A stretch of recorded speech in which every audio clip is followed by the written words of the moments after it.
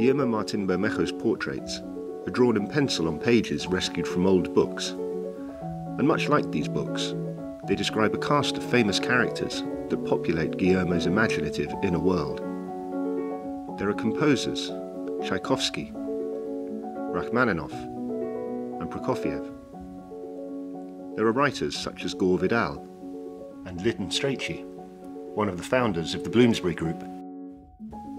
There are also dramatists, the Spaniard Ramon del Valle Inclán, and the German Bertolt Brecht, here shown standing in a stream, surrounded by the magpies that visit Guillermo's garden in his village. A number of portraits have the decidedly British air of decadent Edwardians. Evelyn Waugh appears with the socialite Stephen Tennant, on whom both Miles Malpractice in Vile Bodies and Lord Sebastian in Brideshead Revisited are based.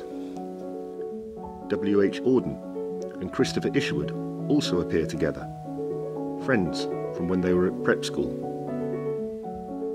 Their continental contemporaries appear in drawings, such as The Doubt of Archduke Franz Joseph.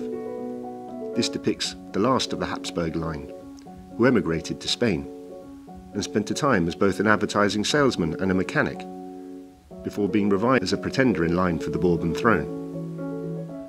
Other appearances include the Austrian expressionist Alfred Kubin, the poet George Trakl, and the writer Klaus Mann, Thomas Mann's son, a publicly gay figure exiled from Nazi Germany. Throughout is a sense of a nostalgic yesteryear, of a golden age now lost. In many cases, there is also a simmering homosexuality, with hints of forbidden fruit, another country that existed beneath the surface of the decaying structures of the old order.